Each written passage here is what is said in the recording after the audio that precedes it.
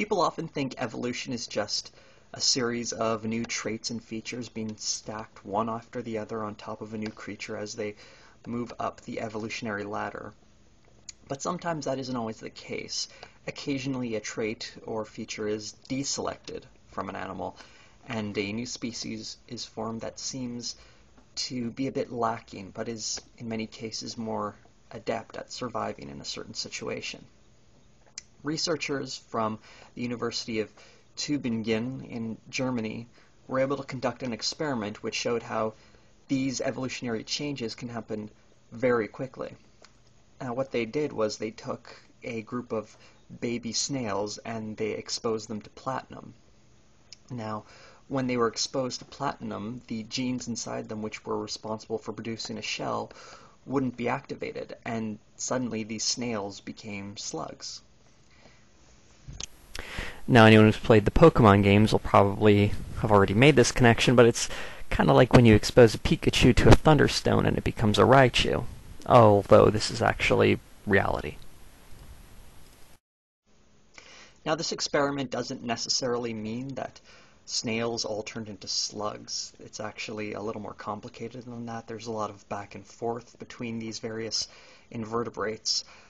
But it does show that a profound structural change, the loss of a shell in this case, can happen very quickly. All it takes is one gene not to be activated.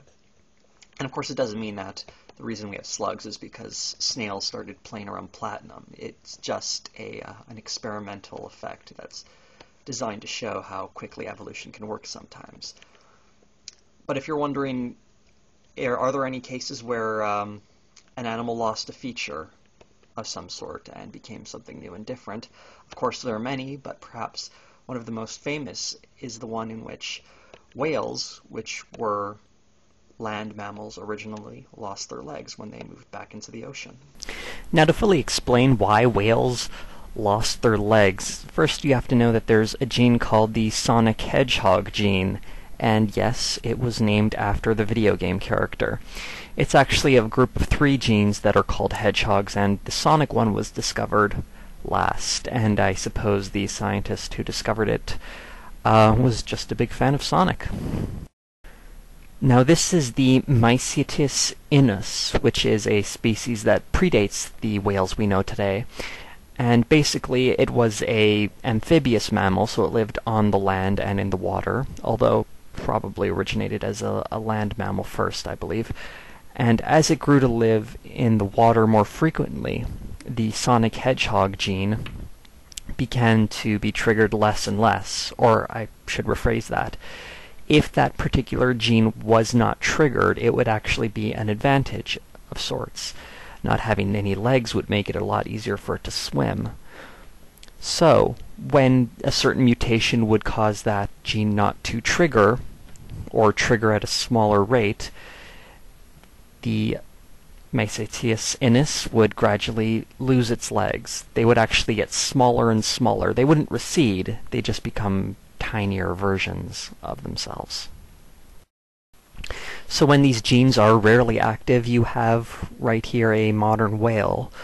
So what once were legs are now just a few small bones. In this case, it's sort of a uh, pelvis and femur, which aren't even connected to the spinal cord. They're just kind of floating inside the whale there, not really doing much of anything. And you'd be surprised at how many species have this same problem. There are lots of vestigial remains, even in humans, and they only seem to be in there to prove that evolution is true. Or, as Darwin put it, they are the stamp of our lowly origins.